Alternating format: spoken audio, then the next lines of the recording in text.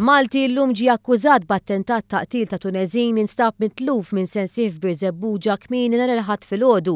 It-Tuneżin ta' 31 sena residenti Marsaxlokk qed jiġġieled mal-ħajja wara li weġġa' serjament bi ġrieħi f'rasu.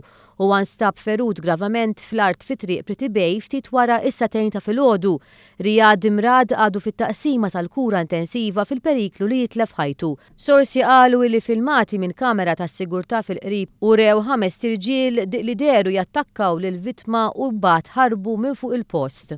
Għadd ta' klijenti tal-Enemalta li kellhom l-arloġġ tad-dawl tagħhom imbagħbas xehdu fil-Qorti kontra l-ħaddiema tal-Enemalta li jinsabu mixlija bit-tbagħbis tal-ismart meters Huma xehdu li ħallsu bejn 500 ewro u 1,600 ewro kull wieħed liż-żewġ ħaddiema tal-Ħal-Malta biex waħħlulhom l-ismart meter imbagħbas.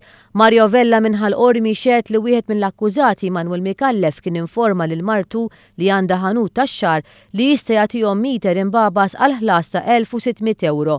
Xhud ieħor, David Galea minn Ħ'Attard qal li Micallef talbu 1,200 ewro biex jagħmillu smart meter li jaqra nofs il-konsum.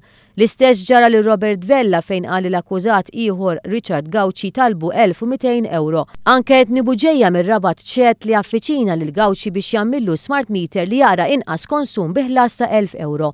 Louise Ciappara minn Naxxar qalet li kien Richard Gauci li għal ħlas ta' 500 ewro installalha smart meter, Imbabas.